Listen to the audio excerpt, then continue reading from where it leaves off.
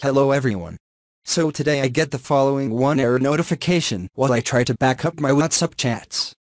And it shows, something went wrong with your chat history. Don't worry. You can restore your chat history from backup. If you don't restore now, you won't be able to restore later. But if I try to press restore option, it shows preparing messages. But after the few seconds, it shows that same error message. So how to fix this issue? So my point of view, this is 100% occurs due to your network problem.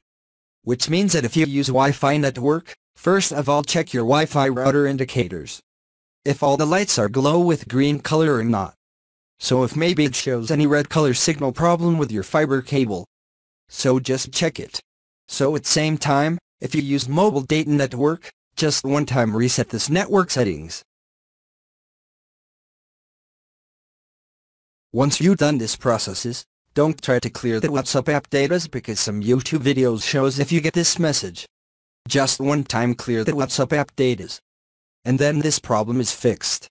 So my point of view, if you clear your WhatsApp data, sometime it will delete your chat history like photos, videos, and some other documents. And there is no possible to retrieve that deleted chats.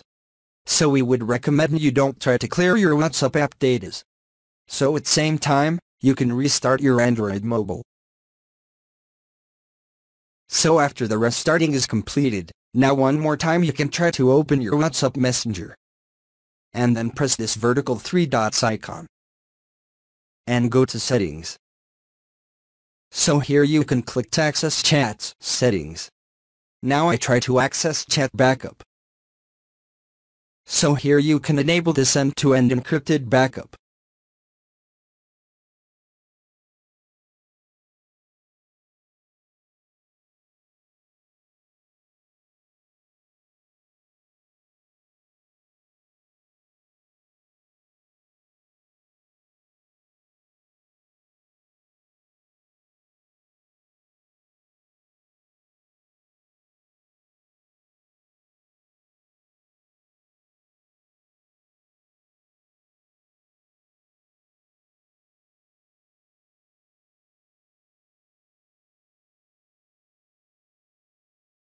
So next you can click to open backup over. So here I try to select Wi-Fi or cellular. And finally click to enable or disable this option include videos. Once you follow I mentioned steps, you can try to back up your WhatsApp chats. So I hope now this time it doesn't shows that previously occurred error message. Thanks for watching.